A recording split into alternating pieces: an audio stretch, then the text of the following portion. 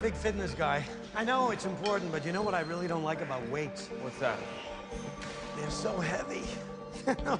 Am I right? Can you lift this?